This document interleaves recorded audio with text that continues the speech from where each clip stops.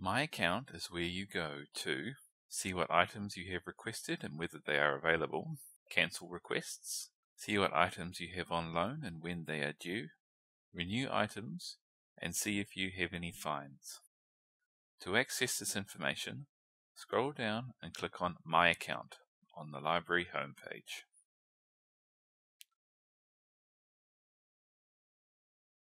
In the top right hand corner, your name should appear.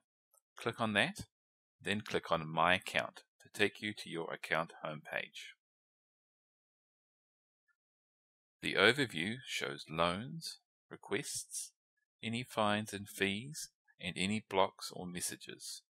The tabs along the top show these in more detail. Active Loans lists all the items that you have out. Previous and historic loans shows all the items you have had out previously. Requests show all the items that you have requested.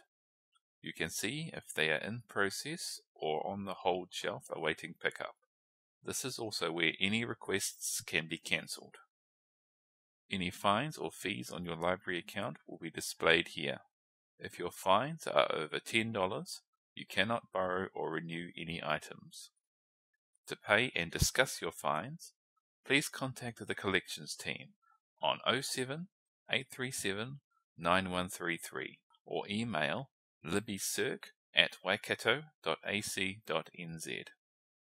Blocks and messages will show if there is a block on your account for any reason, or if the library has put a note on your account. This screen will show the email that the library has for you. It is important that they are correct, otherwise notifications about holds, recalls, and any other messages may not get to you. If these details are incorrect, update them in My Waikato. We recommend you watch these videos. For more assistance, please contact the library.